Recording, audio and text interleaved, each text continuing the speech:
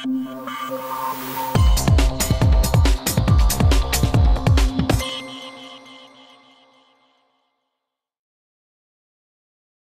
Almonte con nosotros, Zoilo, una victoria de esas apremiantes, de esas con el agua al cuello. Háblanos de este partido.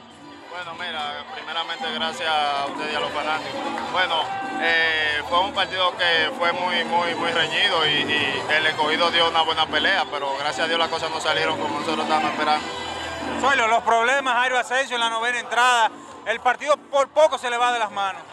Bueno, mira, eso son cosas que pueden pasar. Esto es una final. Tú sabes que uno quiere estar más fino de la cuenta y hacer las cosas quizás mejor de lo que uno siempre está acostumbrado a hacer, pero eso son cosas del béisbol. La mentalidad de los Tigres para este partido, ¿cómo vino? Porque ustedes estaban en ley de pocas cosas para ser eliminados ya. Bueno, tú sabes que esto es pelota. La pelota cualquier cosa puede pasar. Todavía nosotros tenemos chance. Mientras nosotros tenemos este uniforme y, y, y estemos jugando pelota, hay chance porque cualquier cosa puede pasar.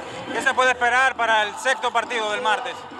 Bueno, seguir jugando pelota bien, gracias a Dios. Eh, El único partido que, que quizás nosotros no, no lo jugamos quizás como nosotros esperábamos fue el, primer, el primero, pero los otros partidos se han dado y se han dado a favor de ellos. Esas son cosas que van a pasar.